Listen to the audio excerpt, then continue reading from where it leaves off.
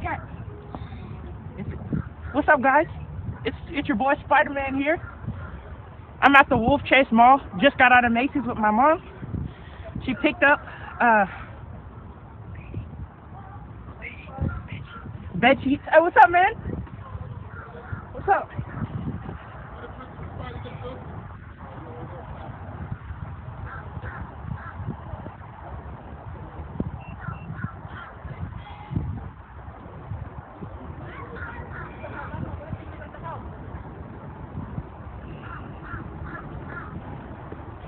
So I just greeted some people that said, what's up, Spider-Man? They like it.